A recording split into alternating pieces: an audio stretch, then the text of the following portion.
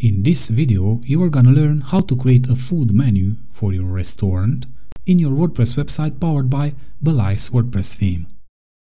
You can watch this tutorial to learn how to edit menu items as well, so keep watching.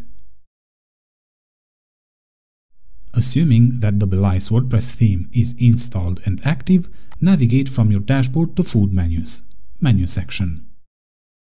Complete the information for this menu section like you do when you create a new category for your blog posts, add a related image with your menu category and then click Add New Menu Section.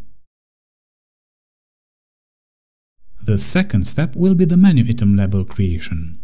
Here, you need to enter a name, slug, and description for that particular menu item, and then click Add New Menu Item label. After the new menu item label is created, you can proceed to add menu items to your food menus. Navigate to Food Menus in your dashboard, then click Add Many Items. Add as many items you want and then move to the next step. Navigate from your dashboard to Appearance, Customize, Front Page Sections, Menu section and select the desired category.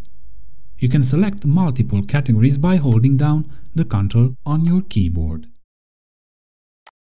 Your menu section is now shown on the front page, and you can start adding more food into your menu. Now, you need to go to Menu Items and then find the item you need to edit. Click Edit, then change the title, description, menu item label and menu section according to your needs. That's it. Now you know how to edit or create a menu for your restaurant website powered by Belise WordPress theme.